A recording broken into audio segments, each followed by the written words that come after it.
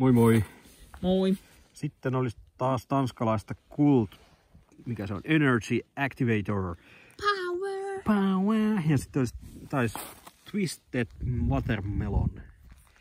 Että Joo, ja tässäkin oli tämmönen taidehässäkä, siellä tulee tämmönen käsi, käsi siellä. melonista.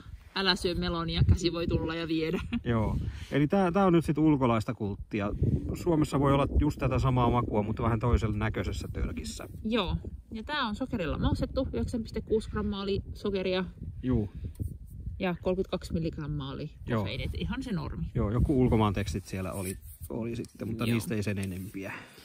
Kai me tästä korkataan tää. Joo.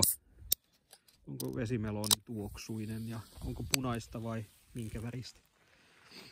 On vesimeloni tuksuinen. On joo, oi kun on voimakas. Ja on sellaista Veikkaan, että...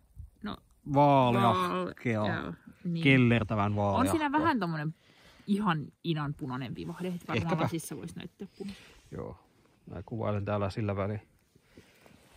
Jäitä. Joo.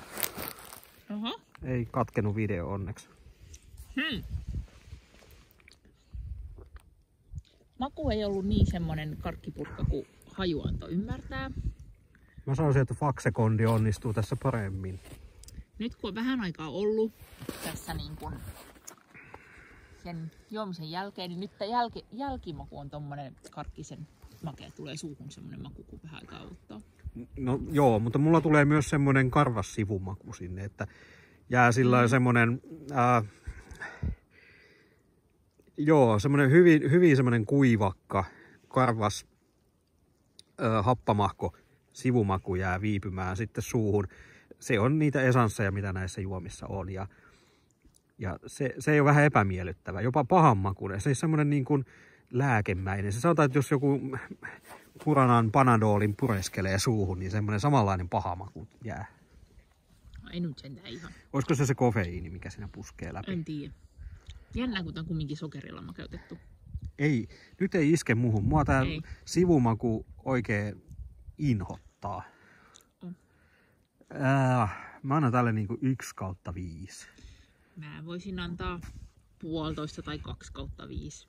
Siis tää olisi ilman sitä karvasta sivumakua ihan 5 kautta 5 kamaa, mutta Mm. nyt, nyt on ihan semmoinen kamala, kamala sivumaku jää suuhun. Ja just semmoinen, että tekee mieli juoda, syödä se josta, jollain niin kuin pois suusta se maku, mutta Joo. ei. Mä, mä juutuin nyt tähän sivumakuun. Joo. Joo. Väh, väh, väh.